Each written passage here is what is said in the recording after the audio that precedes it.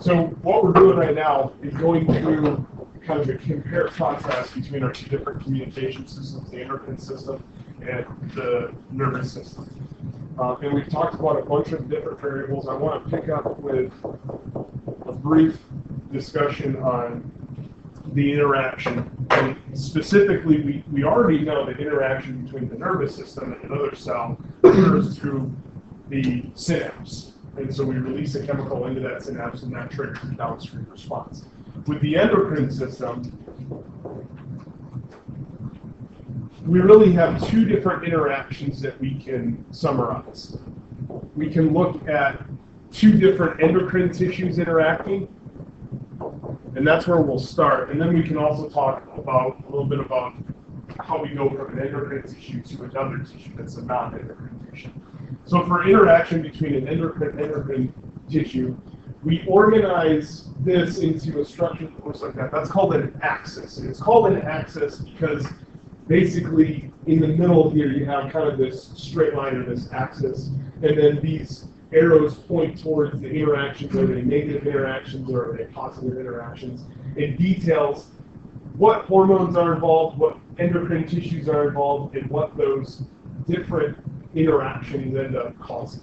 So for instance, here in the hypothalamus at the base of the brain, the hypothalamus produces this hormone called CRF, which is uh, corticotropin releasing factor. That hormone has a positive influence on the anterior pituitary to cause the anterior pituitary to release a second hormone called adrenocorticotropic hormone.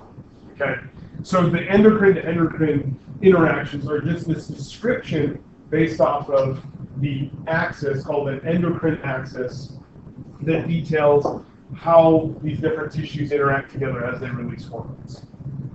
So an endocrine to endocrine can be modeled along these axes, and there's a variety of different axes. In this case, we're interacting with the adrenal gland here at the very end, so we call this the hypothalamic pituitary adrenal axis. But you can also have a hypothalamic pituitary testicular axis or ovarian axis. So there's a bunch of different axes that are modeled out to tell us or can be used to tell us how specific hormones interact with other endocrine tissues. So the one that we're specifically looking at here, but there are others, is the hypothalamic pituitary adrenal axis.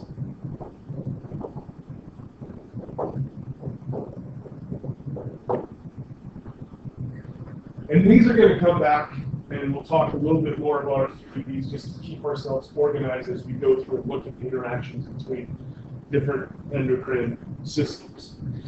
Now, the second type of interaction that can occur stemming from the endocrine system is to go from an endocrine producing tissue to other systems. So, for example, we might have an endocrine hormone that's produced that interacts with the nervous system to cause the nervous system to change its physiology.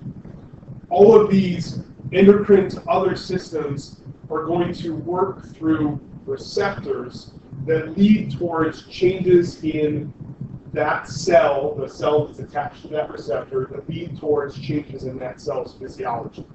That process using a hormone to interact with another tissue leads towards what we call hormone action. And that's what I'm going to pick up now is with hormone action. And we're going to take you through how an individual molecule or hormone, say insulin, can cause glucose to end up being pulled into a liver cell.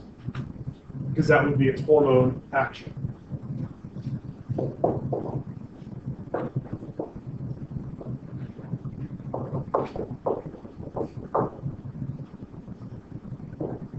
So this hormone action really is a description of how a hormone works.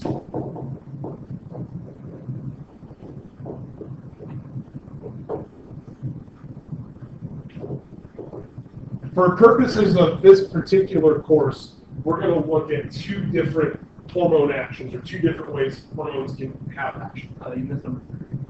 No, number three was the comparative contrast. Uh, is way back. Yeah.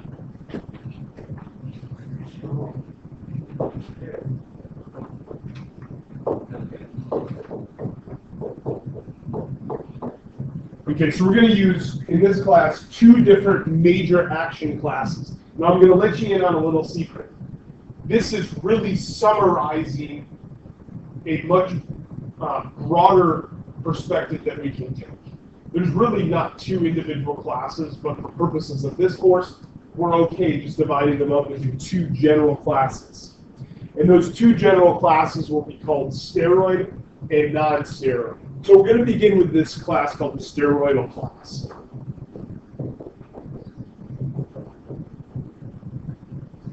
Now, when we begin to talk about how these mechanisms work, we're going to require to understand a little bit of the chemistry in order to understand how all of this becomes possible, how a steroid hormone can have its influence versus a non-steroid. So the term steroid is a term that we use to describe a class of molecules that are related to cholesterol. Cholesterol is a lipid. From a chemical standpoint, lipids interact very differently in water than other um, than other molecules.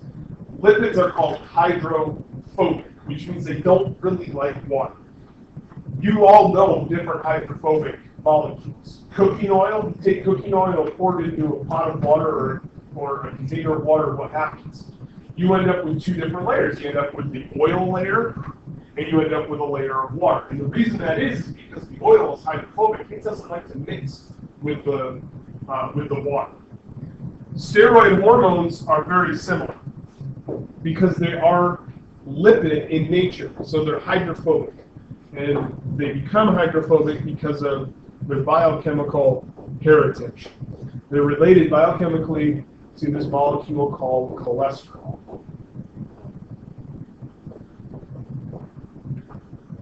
So we could draw out, map out these biochemical networks where we start from cholesterol and use enzymes to convert cholesterol into molecules like progesterone, testosterone, androgens, estrogens.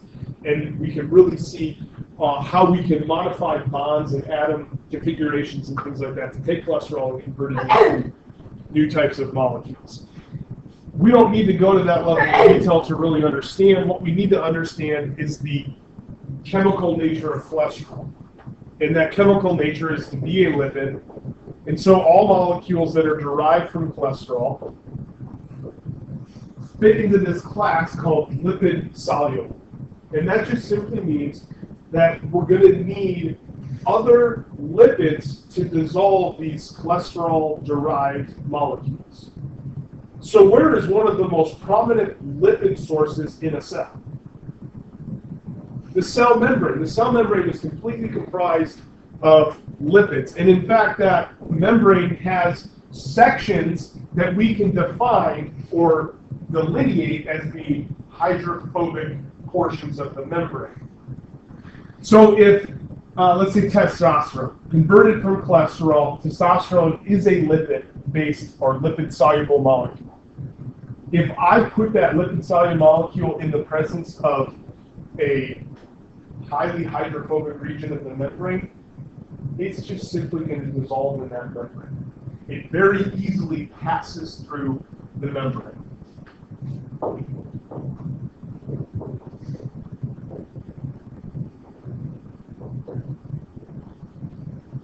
So for all of these cholesterol-related molecules that are lipid soluble, they can cross the membrane, which is really quite interesting because now I don't need anything in the membrane, such as a receptor, for these molecules to end up inside of the cell. They just simply go right through the membrane, just directly through the membrane, not through a protein or anything like that, just directly through the membrane.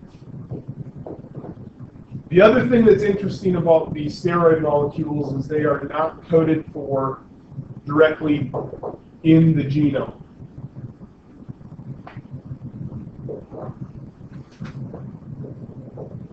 Okay, so there's no direct, not coded directly in our genes. There's no genetic information for cholesterol. There's no gene for cholesterol. There's no gene for testosterone. So in order to generate testosterone or estrogens or progesterones, we need enzymes, which are proteins. And they are coded in the genome.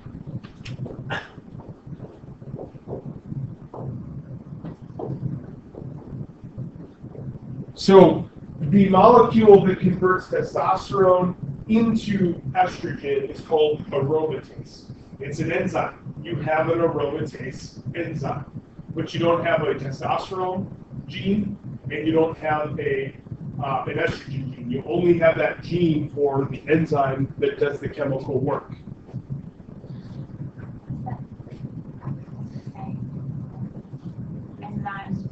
Enzymes, oh, it's supposed to be um, that. Enzymes that produce these molecules are in the genome. They have a gene.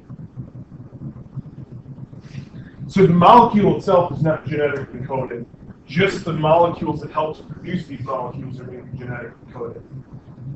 So these steroid class molecules can cross directly through the membrane.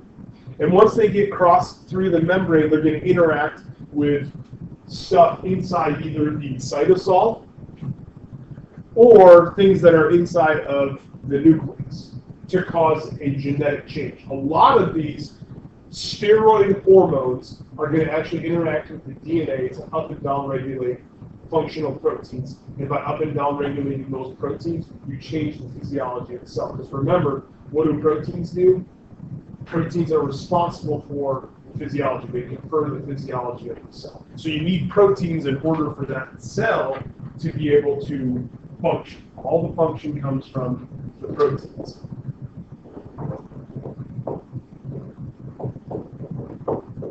Okay, our second class are the non-steroidal hormones. So non-steroid hormones, and these are protein related. So the non-steroidal hormones, you actually have to generate them as a protein. Insulin is an example here. Insulin is a protein. Most of these, and by and large, are lipid insoluble.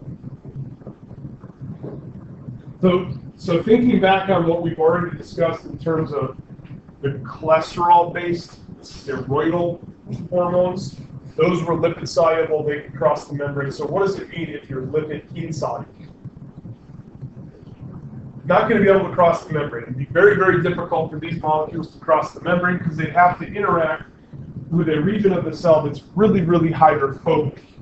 But these are really hydrophilic molecules, and that just does not work well. So these protein-related non-steroidal molecules, lipid-soluble, cannot cross the membrane easily.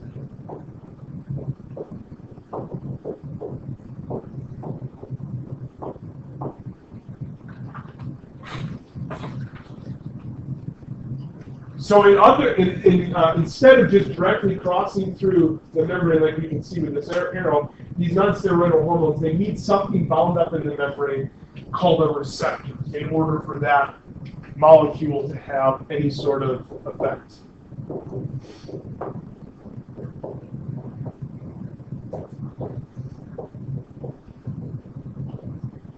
So our non-steroidal hormones are going to bind to a receptor, and this is going to cause our effect. Now we're going to get here in just a second to hormone action. The effect is really what we would call hormone action. We're going to talk, talk about that in just a second. But first, um, the, the other big difference here between the steroid and the non-steroidal class of hormones, remember, steroid hormones, there's no testosterone gene, there's no estrogen gene.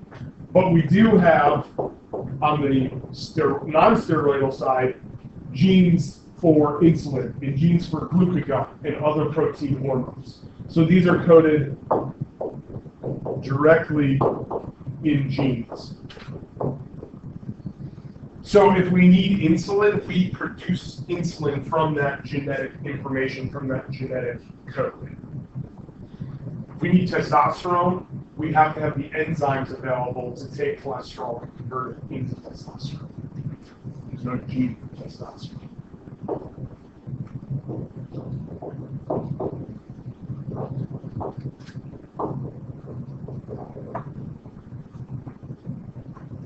All right, so we're going to take a look at both the steroid hormones and the non-steroid hormones, and we'll look at their hormone action. We now know how they, these different types of hormones can interact with the cell, right? We can have the steroid hormones cross directly through the membrane and affect physiology in the cell. The non-steroid hormones are going to interact with a receptor. Now, that's not to say that the non-steroid, oh, I'm sorry, the steroid hormones don't act through receptors. Some of them also act through receptors as well, but they also have the ability to cross the membrane. So the steroid hormone action, the action is basically the effect. If I throw a bunch of testosterone on muscle cell, we're going to have an effect.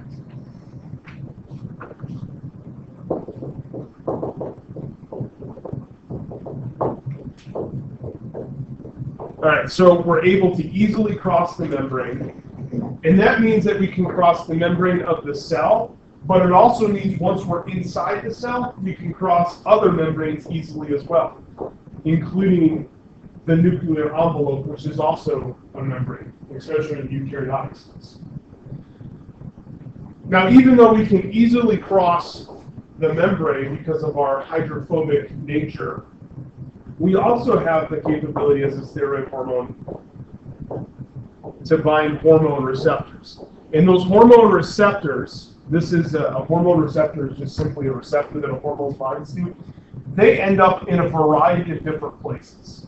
Some of them are going to be out here bound in the membrane. A lot of them, though, are bound are found soluble, just floating around in the cytosol and in the nucleosol, inside of the nucleus.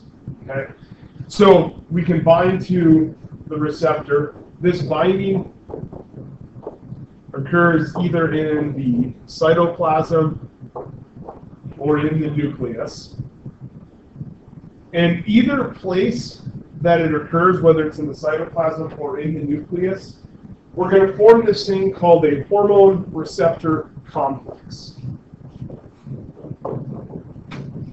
So the hormone binds up to its receptor and we form a new molecule where the hormone is bound to the receptor and we call that the hormone receptor complex. Uh, for the biologist, it's just simply the HRC as an abbreviation. No matter what happens, that hormone receptor complex, whether it's bound in the cytoplasm or bound in the nucleus, it eventually makes its way into the nucleus if it's not already there. So this hormone receptor complex binds its hormone, ends up in the nucleus. Now, what's inside the nucleus? What's the main purpose of the nucleus? hold our genetic information. That's where we find all of the DNA. So when we activate that hormone receptor complex, one of the things that it's going to do is it's going to bind to that DNA. So we have all of these lengths of DNA, and within that DNA, there are sequences of nucleotides that actually are able to interact with hormone receptor complexes. Now, whenever you bind something to the DNA, you're probably going to change how that DNA functions. So there are sites.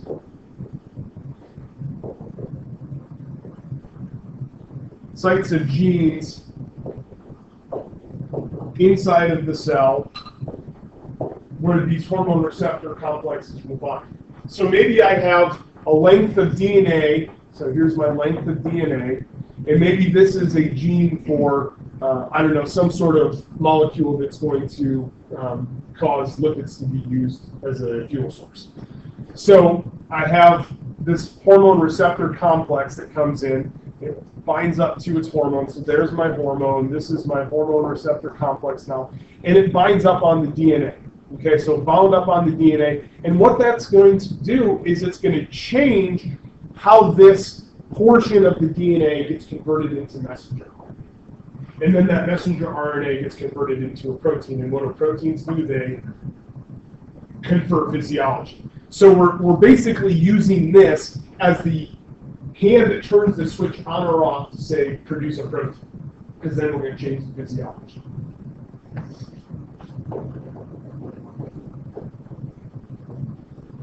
Now, when we bind a hormone receptor complex to the to this location on the genes, we can do one of two things. We can either repress or we can activate the production of some gene. We can repress or we can activate the gene, the, the production of a gene. Now, the production of a gene, another term that we've used before is transcription. Transcription. So we can either turn off transcription, which results in reducing the availability of a specific protein, or we can turn on transcription, which increases the availability of a protein. Now, if I change a protein, if I get rid of the protein, I'm going to have a specific physiological change that occurs because we no longer have that protein that's doing something. If I activate a protein, I'm going to change the physiology of that cell because now we have additional protein to do something. Okay? So that hormone comes in, binds to our HRC, binds onto the DNA, we change the availability of protein. And that protein, since it confers physiology, we're invariably changing the physiological function of that particular cell. So we go through this transcription process, and this leads towards the production of a mRNA molecule, which the only thing you need to really know about the mRNA molecule is it's basically a replication or a duplication of the genetic information that's held up in the DNA, except for now it's mobile. So it can be moved to other parts of the cell where it can be utilized to generate protein. So once we have our messenger RNA molecule, that messenger RNA molecule holds the information from the DNA, but it's mobile, so it can exit the nucleus. And once it exits the nucleus, it enters into the cytosol. So this part of the cell out here, inside of that part of the cell, thinking back towards the beginning of the semester, you'll remember that one of the organelle that we find are the ribosomes. So the cytosol, the messenger RNA interacts with the ribosomes, and we undergo a second T process, which is translation. So we go transcription, DNA to RNA, and then translation, RNA to protein. So in the cytosol, we translate the information from the messenger RNA to produce a protein. Which, by the way, if we were repressing the signal, then we basically would not be producing any messenger RNA. We wouldn't do any translation. We wouldn't do any transcription. We would end up without producing a protein. But in this case, if we activate that gene, we get proteins produced, and those proteins are what change the physiology.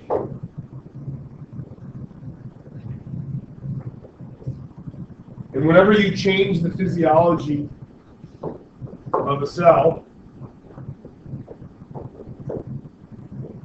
this results in a change in the cell's function. All right, so we're going to change the cell's function, starting from this hormone being released by some endocrine tissue, crossing directly through the membrane, in the hormone receptor complex form, interact with the DNA to produce the messenger RNA, that then is translated in the cytosol to a protein, and that protein now confers some new physiological function in that cell, or at least changes the physiological function of the cell. So if I were to draw out, I guess before I go on here, let's, let's go ahead and erase that. If I were to draw out a specific function, you might have a membrane and here's our hormone. It's a lipid hormone, so it comes in, it interacts here with that hormone receptor. We form the hormone receptor complex. We end up here in the nucleus where we have our DNA. So this comes in, interacts with the DNA. So there's our interaction. And then we begin to produce a messenger RNA RNA, and that messenger RNA comes back out here. We have our ribosome that interacts with that messenger RNA, and we generate a protein. We now have a new protein, and that's going to give us the new function. Most of the time, see, biologists are really lazy, and the laziest of the biologists are the endocrinologists. And so we just go, okay, we got a new protein. We're just going to call this a metabolic response, or a physiological change, or a change in cell physiology. So whenever you see those different terms, this hormone does this, and it causes all of this to happen, and that leads towards a change in the cell. The change in the cell is whatever the proteins do. Okay?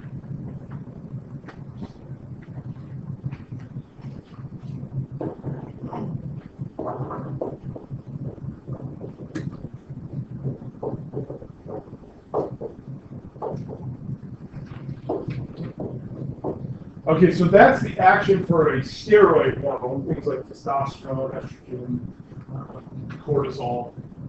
What about the non-steroid hormones? So what do we need to remember about the non-steroid hormones? Well, those non-steroid hormones, they are going to be unable to cross the membrane easily. I should have shown you this. This is that kind of picture that I just drew right here. Right? It just is better mapped out. So you have the steroid hormone come in, interacts with the steroid receptor, binds up on the DNA, you get your messenger RNA for transcription. That messenger RNA interacts to produce a new protein. We get a new protein. This would change cell physiology. This is our non-steroidal action. Can't cross the membrane, so we need a receptor. So here's our hormone, and here is our receptor. Now, what you're looking at, this looks all really, really busy. And if you were biology majors, you would go through the process of learning not only this system, but several other systems as well. This one is called the cyclic AMP system, and I'm going to use it as an example. But there are other systems where we have hormones that bind receptors and lead towards a, bunch of changes in the uh, in the downstream effects, or in downstream physiology of the cells, resulting in change physiology. So our non-steroid hormones.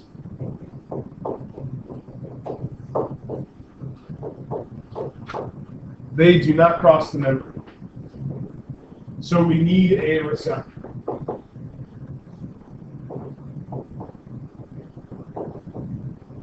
Because there are several other examples that I can turn to, I'm just going to give you a simple general kind of breakdown here. Then I'm going to talk about one specific example. I'm going to focus here on this thing called a uh, second messenger, cyclic AMP second messenger system. So I'm first going to give the general, and then we'll get specific.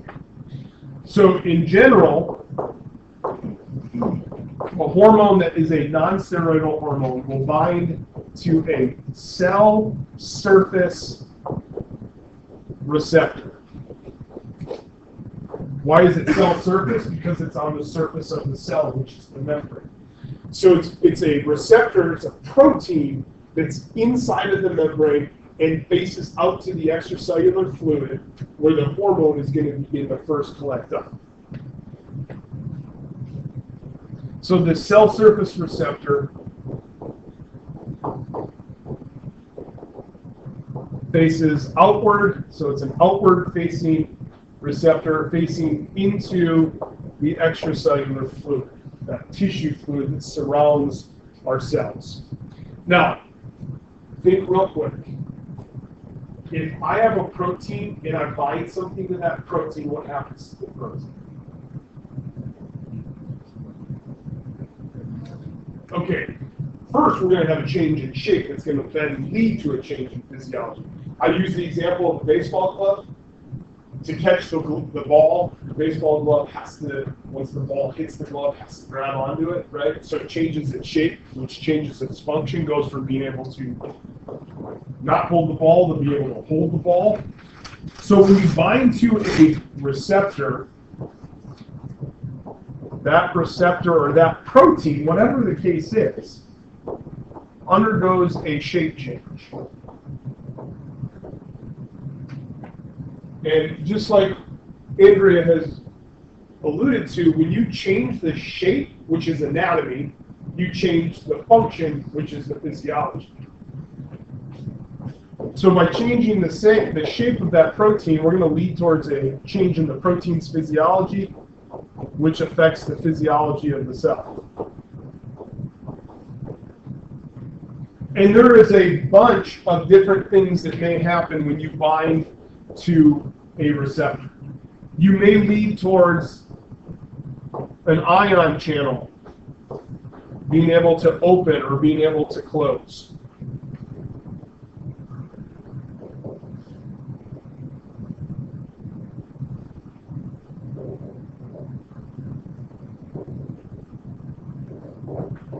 Another option is to have some sort of transport protein or transport molecule gets activated and gets relayed up to the membrane. So maybe you need glucose inside of the cell, and this hormone interacts with the receptor. That receptor changes its shape, and it calls up this transport protein, and that transport protein comes up and plugs into the membrane and creates a mechanism for glucose to come into the cell.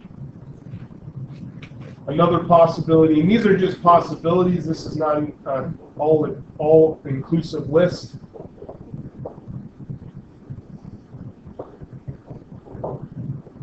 we might have some sort of molecule that, that is in an inactive form.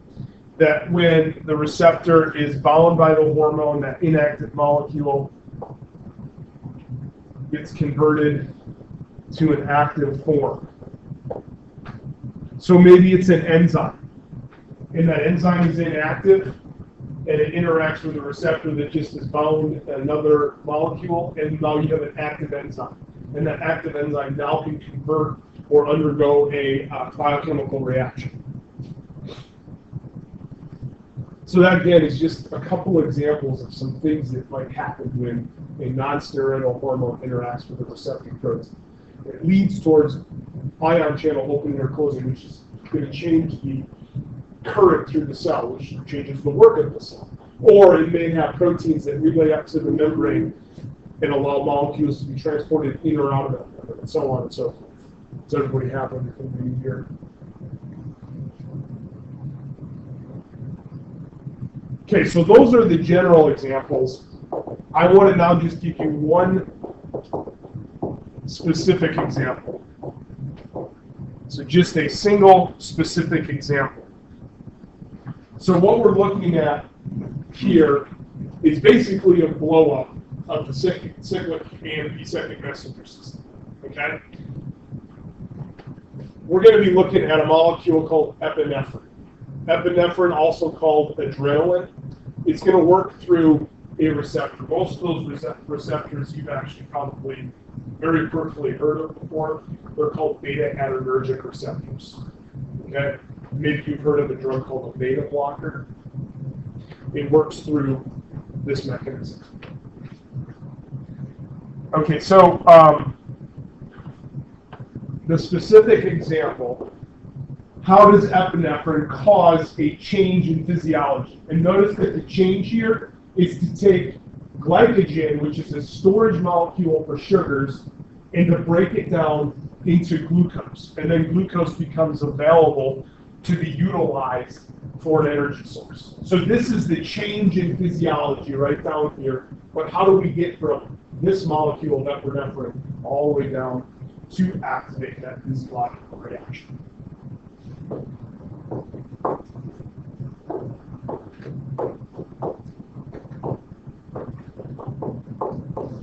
And we're going to model it as this thing called a second messenger system.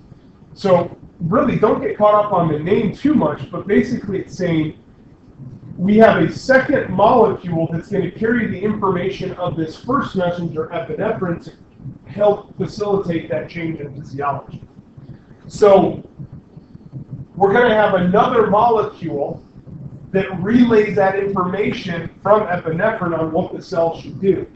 In this case, that second messenger is this molecule right here called CAMP. Don't pronounce it CAMP, pronounce it cyclic AMP.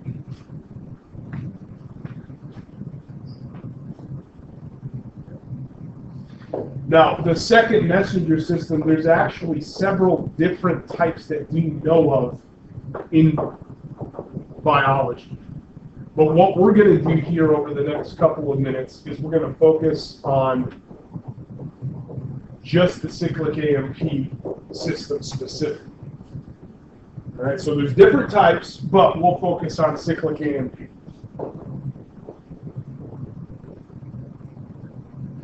So we have a receptor, and that receptor is bound in the membrane. So here is our receptor protein bound up in the membrane. It has a binding site for epinephrine. Before epinephrine binds, it's in a certain state or a certain configuration.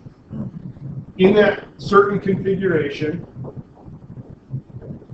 you're going to have an intracellular domain. So this is on the inside of the cell.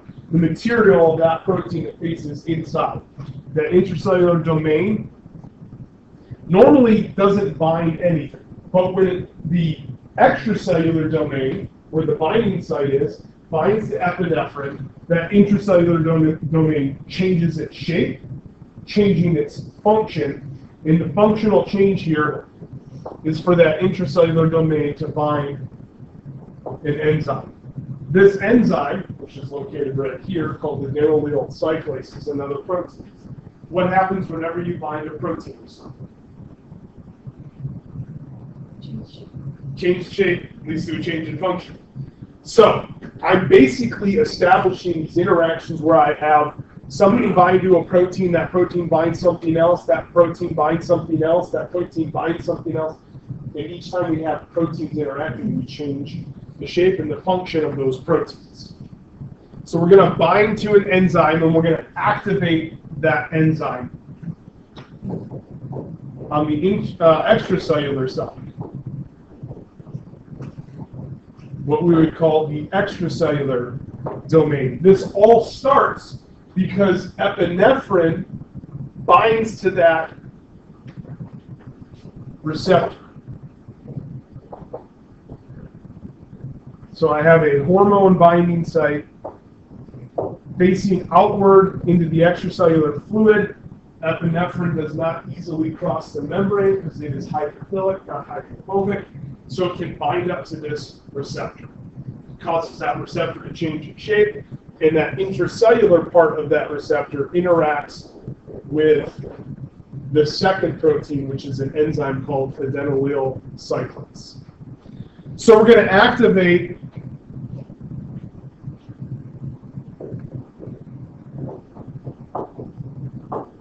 we're going to activate that that enzyme when we create our hormone receptor complex. So the hormone, the receptor, they bind, which is what's shown right here. Epinephrine binds to its receptor. That changes the shape of the receptor, especially this intracellular domain, the inner portion of that receptor. Changing the shape of that receptor changes the function of that receptor, and now we activate that enzyme.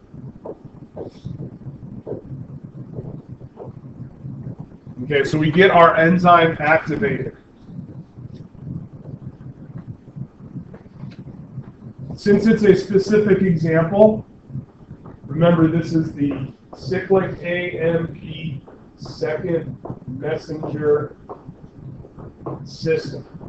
Our second messenger is this molecule cyclic AMP. Eventually, we're going to have to produce a bunch of cyclic AMP, right? We're, we're going to have to increase the amount of cyclic AMP inside of the cell. We're turning on this enzyme, which is called adenylyl cyclase. The purpose of adenylyl cyclase is to bind ATP.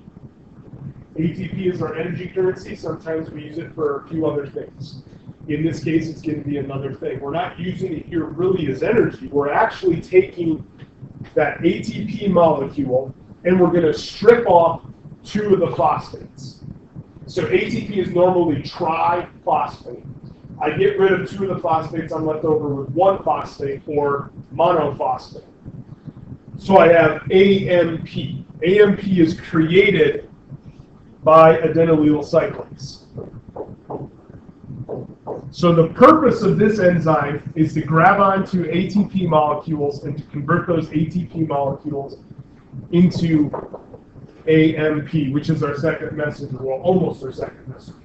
Notice it's CAMP, and I've said that that C stands for cyclical. Cyclical AMP. When you get rid of the two phosphates from an ATP molecule, in the presence of the adenylyl cyclase, I take that linear molecule, get rid of the two, uh, two phosphates, and I convert it into a circle. And so it becomes cyclic AMP, just because now it goes from linear to now having more of a circular shape.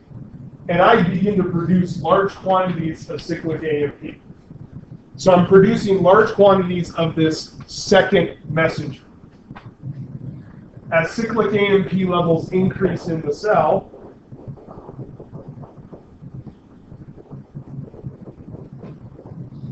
that cyclic AMP activates another enzyme. So you see, we have another enzyme that has a binding site for cyclic AMP. And so as more cyclic AMP accumulates in the cell, it interacts at a higher frequency with the second enzyme. And we form this thing called an enzyme cascade.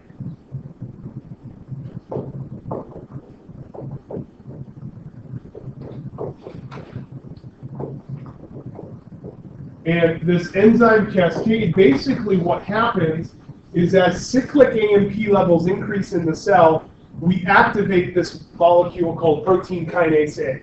Protein kinase A then goes and activates these other molecules called phosphorylases. Okay? So we have sort of this cascade of cyclic AMP activates kinases, activates phosphorylases. Those phosphorylases activate additional enzymes that convert glycogen into glucose. And we have now our physiological change inside of the cell.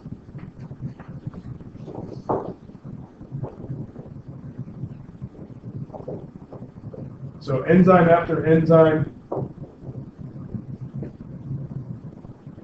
is used to activate new enzymes. So before epinephrine bound to its receptor, I basically had a bunch of inactive enzymes that weren't doing anything. They weren't doing any sort of chemical reaction. Now, as epinephrine binds, we begin to go through this process. Adenylyl cyclase converts a bunch of ATP into cyclic AMP. That second messenger of cyclic AMP starts to activate initially this thing called PKA, protein kinase A. Kinase anytime you see this term here, K-I-N, well, first of all, A-S-E always is enzyme, right? So if I were to say, hey, what's what type of molecule is aromatase, you would see the ASE and be like, oh, that's an enzyme. What kind of molecule is a dehydrogenase? You see the ASE, you go, oh, that's an enzyme. So ASE always designates an enzyme. KIN is going to put a phosphate on onto something. So a kinase is an enzyme, because it's ASE, that puts a phosphate onto something else. Now what you need to know about phosphate is it's just like a light switch. If you come over here and flip the switch, you change the function of the room. Phosphates change the function of an enzyme. It's like turning a light switch on. You put a phosphate on, active enzyme. Take that phosphate off, inactive enzyme.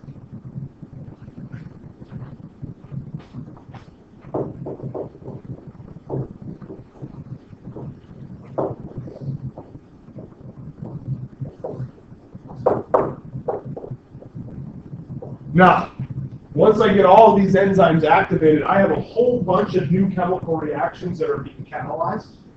I have completely changed the physiology of the cell.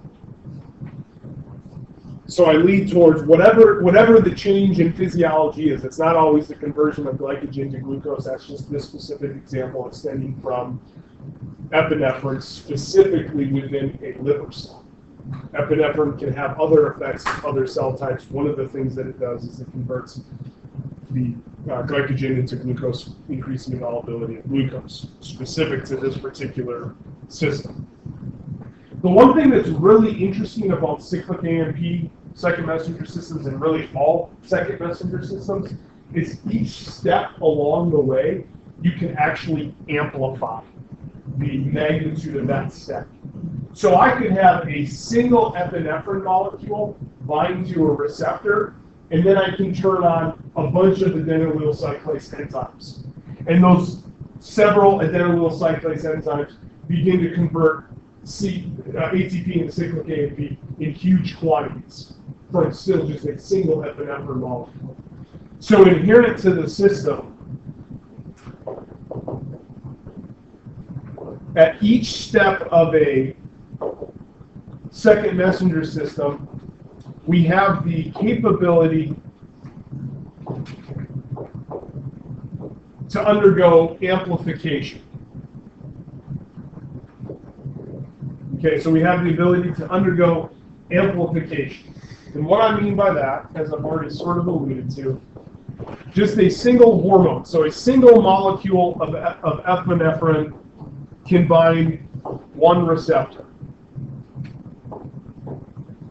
So we get this single interaction, one hormone binds one receptor. that receptor is now in an active form because it's just bound by something that's a protein. Whenever proteins bind something, they get a change in physiology that happens. So the hormone binds to the receptor, that receptor is now active. That single active receptor has the ability to activate several enzymes. So even though in this picture you're just seeing one adenylyl cyclase being activated by this receptor, most likely this single receptor is going to activate a handful of adenylyl cyclase molecules. So we go from one receptor activated to a bunch of enzymes activated. And once we have a bunch of enzymes that get activated,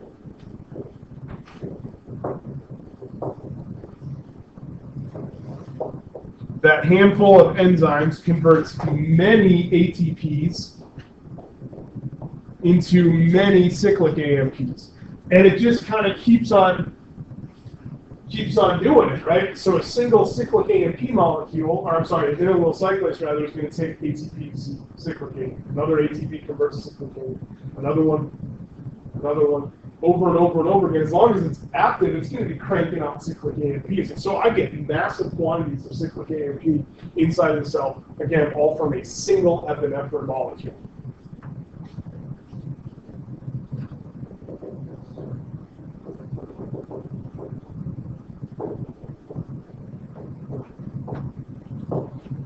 Now that I have large quantities of cyclic AMP, which is my second messenger, that cyclic AMP has the capability to activate many different enzymes. And now I have this huge, robust change in the activity of enzymes in that cell, and I go from a single molecule of epinephrine to a massive change in the cell's physiology. And so I end up, because of this amplification, with large cellular responses. I get a huge cell response. Just from a very small amount of epinephrine.